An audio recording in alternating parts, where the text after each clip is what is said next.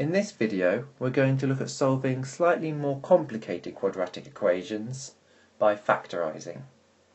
Notice in this quadratic that we don't have 1x squared, we have 3x squared. We start in the same way by drawing our two brackets and putting that equal to 0. But now for our x's, we need them to multiply to make 3x squared. Well, the only way that this can happen is if one is 3x and the other is x. This works in this case because 3 is a prime number.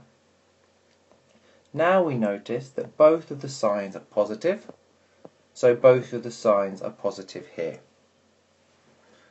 Next, we look at the number at the end, 2, and we're looking for pairs that multiply to make 2. Well, the only pair that multiplies to make 2 is 1 and 2.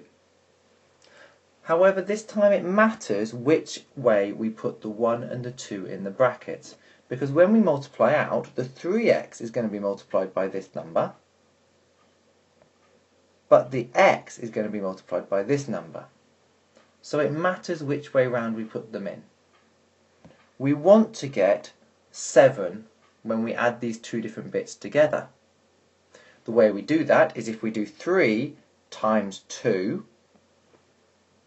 to get 6 plus 1 times 1 to get 7. So our factorised quadratic is 3x plus 1 in one bracket and x plus 2 in the other bracket. Now we solve in the same way and we get 3x plus 1 equals 0 which gives us 3x equals minus 1 which gives us x equals minus 1 third. And the other part gives us x plus 2 equals 0, so x equals minus 2. So our final answer is x equals minus 1 third, or x equals minus 2. This one is similar, but has a negative sign in the quadratic. We start in the same way by putting in our two sets of brackets and putting them equal to 0. And this time we have 2x squared.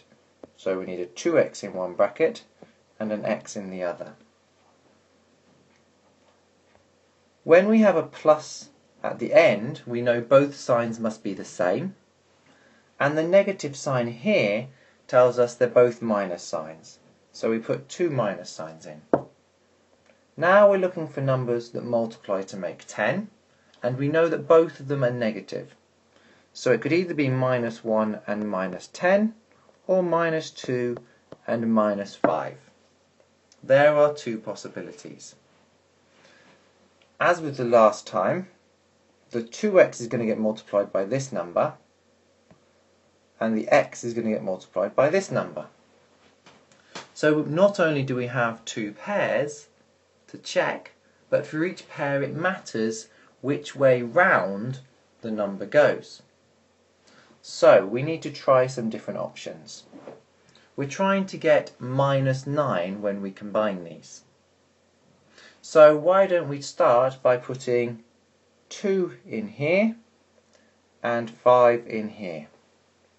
Well now we get 2 times minus 5 and that gives us minus 10 and then minus 2 times x gives us minus 2, which is equal to minus 12. That's not minus 9, so we go back and try the next number.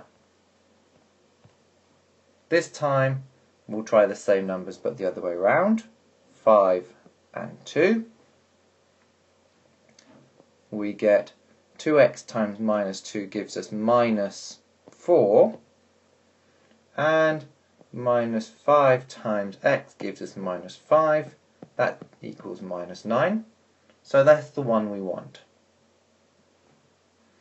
Now we do the same thing. Now that we've found our brackets, we do 2x minus 5 equals 0.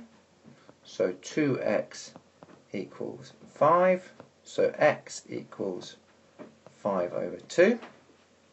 And x minus 2 equals 0, so x equals 2. This gives us a final answer of x equals 5 over 2 or x equals 2. In this example, we don't have a zero, a plus number or minus number at the end of the quadratic. This one's actually easier than the others because we have an x in both parts of the quadratic itself, which means we can just pull the x out the front of the brackets. What do we have to multiply x by to get 5x squared? Well, that's 5x. What do we have to multiply x by to get minus x? Well, that's minus 1. And then equals 0. So now we have x, 5x minus 1 in brackets equals 0. As with the other ones, one of either x or 5x minus 1 must be 0. So either x equals 0, which is our first part, or 5x minus 1 equals 0, which tells us 5x equals 1, or x equals 1 fifth. So our final answer is x equals 0 or x equals 1 fifth. In the final example here, we have 4x squared minus 1 equals 0, and this has no x. We approach this in the same way, but we take the number multiplying x to be 0. So we start off by drawing our brackets and putting it equal to 0, and 2x and 2x at the front of our brackets here. It could have been 1x and 4x, but this is a very special type of equation that we will look at in a later video called the difference of two squares. So in this case, we have 2x at the front of both equations.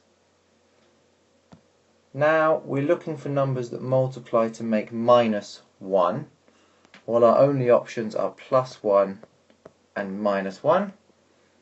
So plus 1 goes in one, minus 1 goes in the other.